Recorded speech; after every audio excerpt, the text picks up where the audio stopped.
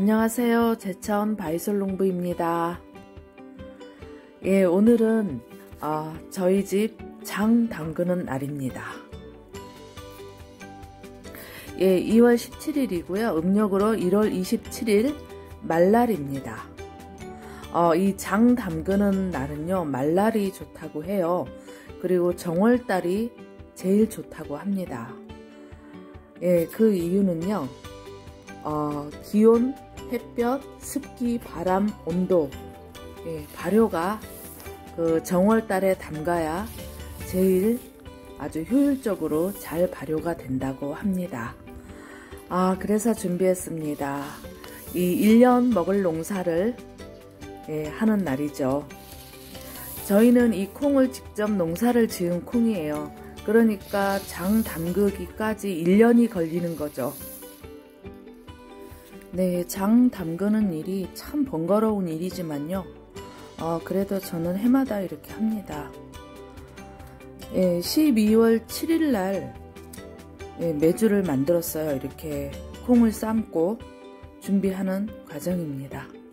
이 솥이 어, 두 마리 들어가요. 근데 두 마리까지 넣으면 너무 꽉 차서 조금 힘들더라고요. 어, 그래서 한 말 정도 두 번 나눠서 합니다. 어, 압력솥도 있죠. 예, 1차로 삶고 나서 저는 압력솥에 한 15분 정도를 더 돌려서 합니다. 어, 하, 어, 해마다 해보면 이 솥에다가 삶으면 시간이 너무 오래 걸려요. 그래서 제가 이제 해본 결과 압력솥에다가 하니까 굉장히 편하더라고요. 조금 번거롭기는 하는데요. 그래도 어, 가마솥에 하면은 막 6시간 이상을 삶아야 돼서 압력솥을 같이 겸해서 하니까요. 너무 편하고 좋더라고요. 네, 이렇게 잘 삶아지고 있, 죠 예, 삶아진 콩을 저희는 이렇게 다 방망이로 두드렸습니다. 어, 이유인 즉슨요, 그전에는 뭐 발로 밟아보기도 하고 그랬었는데요. 어, 이 방법이 제일 괜찮더라고요. 나중에 된장이 됐, 을때 어, 무슨 차이인지는 모르겠지만 그래도 이게 힘들긴 하지만 이 방법이 제일 저는 좋았어요. 그래서 항상 이렇게 한답니다. 예, 메주가 굉장히 예쁘게 만들어졌습니다.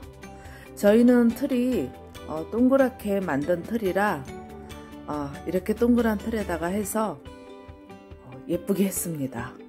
굳이 틀이 없으면 어, 냄비에다 해도 돼요. 아니면 뭐 김치통 같은데 해도 예, 무관합니다. 이게 두 말 양이에요. 두 말 조금 넘어요.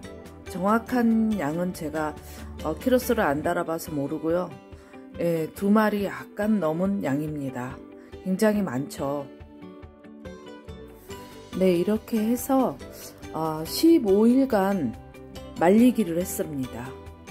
이게 꾸덕꾸덕 말려지고 속은 좀 덜 말라진 상태에서 이제 따뜻한 방에 띄우기를 하게 되는 과정이죠. 네, 한 15일간 좀 바짝 말리고 그렇게 하고 또 20일 정도 예, 띄우기를 했습니다. 저희 집이 방이 연탄 보일러예요. 그래서 이 띄우기가 굉장히 잘 됩니다. 한 20일 정도를 방에서 뜨끈뜨끈하게 띄우면 예, 이렇게 곰팡이가 핀답니다. 어, 전체적으로 굉장히 잘 띄워졌어요. 이제 처음 하는 게 아니라 어, 여러 해 해보니까 이제 곰팡이 피는 정도도 어느 정도 보면 아 이게 잘 됐구나 아 잘 안 됐구나 예, 그런 것을 감으로 예, 알게 된답니다. 예, 아주 잘 띄워졌어요. 이제 이렇게 다 띄워진 메주를 씻어서 예, 이렇게 깨끗이 씻어서 또 이 아이를 바짝 말립니다. 그러니까 장담그기는 어떻게 보면은 이 과정이 굉장히 힘든 것 같아요. 이렇게 씻었을 때 보면 이렇게 까맣게 되었잖아요. 예, 이 상태가 되면 간장이 맛있게 나온답니다. 아주 굉장히 어, 잘 띄워졌어요. 그러니까 이 과정이 힘들지 담그는 거는 사실상 할 게 하나도 없습니다. 그냥 소금물만 부으면 됩니다. 매주 아주 예쁘게 잘 만들어졌죠. 네, 이렇게 준비가 됐으면은요, 이제 소금물 양을 해야 되는데요. 어, 두 마리니까, 콩이 두 마리니까, 어, 이걸 어떻게 양을 제가 측정을 못하고요. 그냥 감으로 하거든요. 제일 좋은 방법은 보시는 것과 같이 계란을 띄우면 됩니다.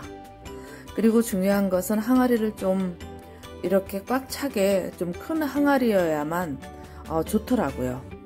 이렇게 해서 소금물이 좀 여유가 있어야 나중에 어, 장 가르기 할 때도 좋고 예, 그렇더라고요. 제 경험상. 이렇게 해서 소금물을 위에 가득 붓습니다. 그러면 잘 말라지고 메주가 잘 되었으면요. 이 메주가 떠오르지를 않아요.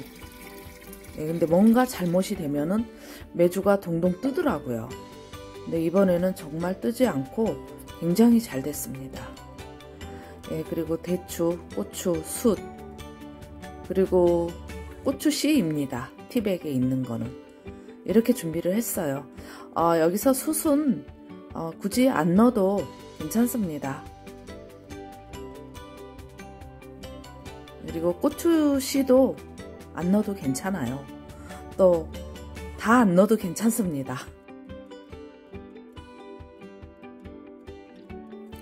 네, 이렇게 해서 장 담그기는 마무리를 하겠습니다. 예, 오늘 영상이 유익하셨다면 구독, 좋아요, 알림 설정 꾹꾹 눌러주시길 바랍니다. 오늘도 활기찬 하루 되세요.